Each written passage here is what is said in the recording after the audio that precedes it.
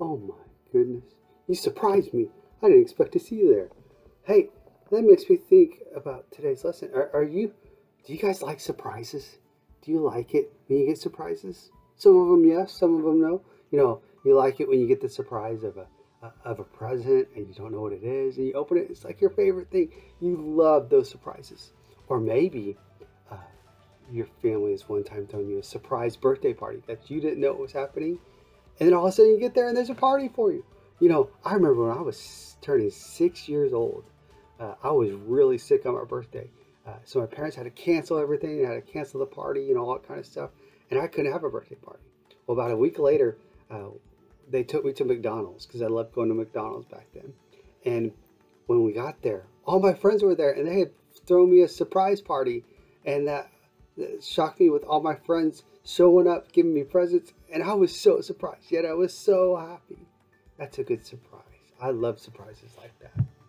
You know, our, our story today has to do with Jesus telling a, a special message.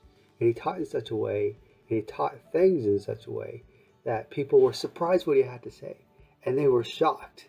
Um, what he taught about loving enemies, loving one another, uh, about being poor in spirit, that they were blessed, and all this kind of stuff.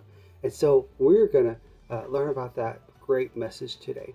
Uh, as we get ready to start, uh, we're going to sing first, but let me pray for us. Jesus, thank you so much for the Bible. Uh, thank you so much for your word that you teach us so much about you, how we can love people and how we can love you and how we can share the good news of Jesus to, everybody, God. Pray now as we get ready to sing that we can sing loud and uh, glorify you, God. In Jesus' name, amen. All right, see you in a little bit.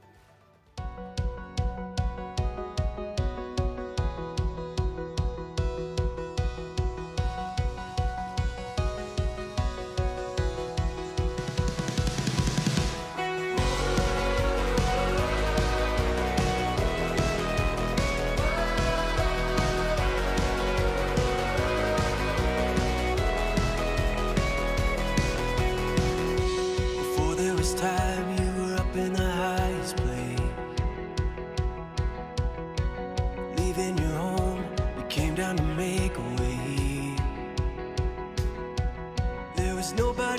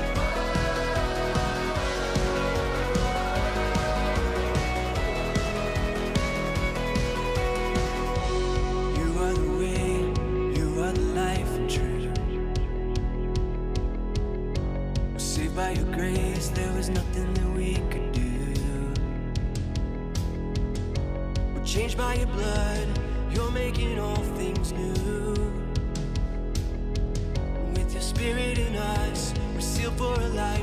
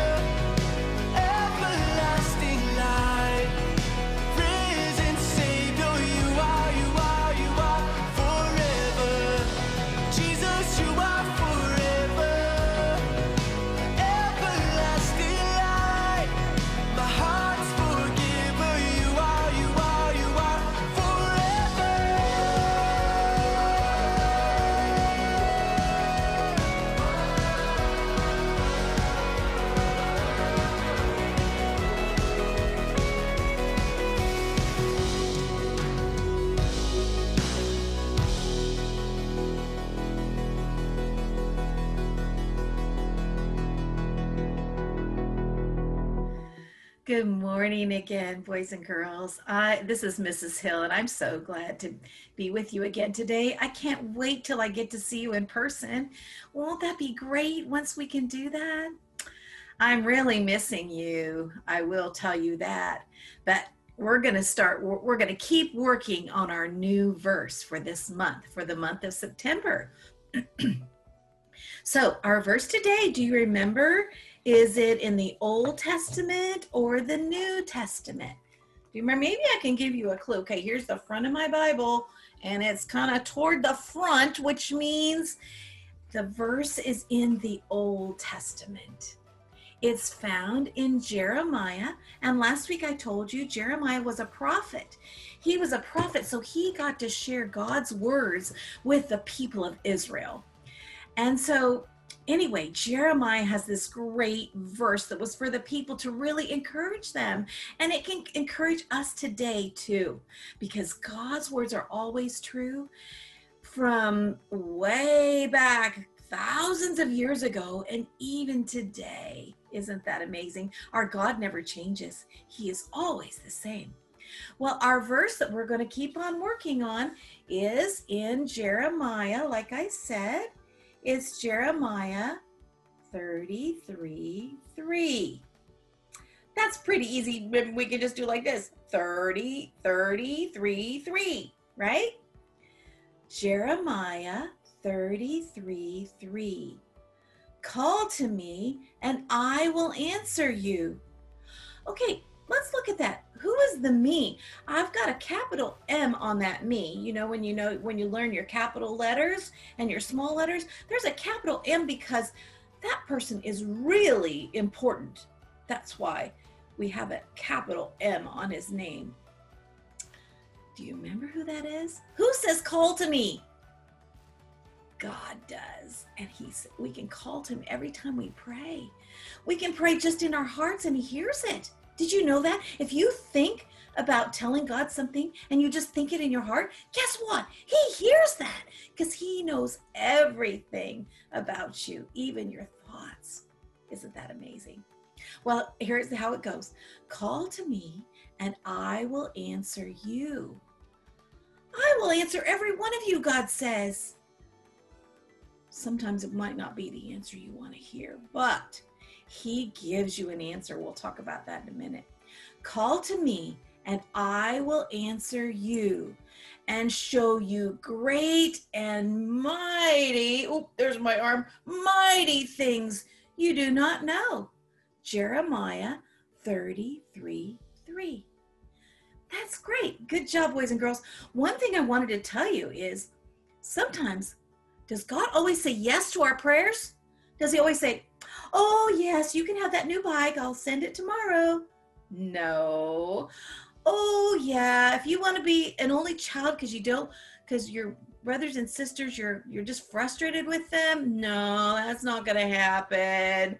Those are silly things that we pray, and those aren't praying in God's will. But you know what? When we pray and say, God, help me to love my brother and sister more, help me to treat them better than I treat myself, those are the prayers that God loves to answer. And He says, Yes, I will help you. He always says, Yes, I will help you with those things. So, but sometimes He doesn't answer our prayers when we're not asking for the right things. And we'll talk about that more next week. Okay, let's say our verse again. Excuse me. Okay, here we go. Jeremiah 33 33 3. Call to me, and I will answer you, God says, and show you great and mighty things you do not know.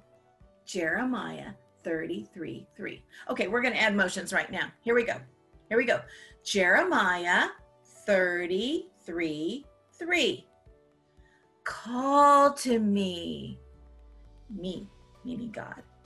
Call to me, and I will answer you and show you great and mighty, strong things you do not know. Where is it found? Jeremiah 33 three. Good job. Let's do the motions one more time. Okay. Jeremiah 33 3. Call to me, and I will answer you and show you great and mighty. Can you do your arm like this? Mighty. I'm kind of silly looking when I do that. Mighty things you do not know. Jeremiah 33 3. Okay, one more time to get it down. Here we go. Jeremiah 33 3. Call to me, and I will answer you and show you great and mighty things you do not know. Jeremiah 33 3. Well done, guys. Give yourselves a hand and give yourselves a pat on the back. Good job. See you next time.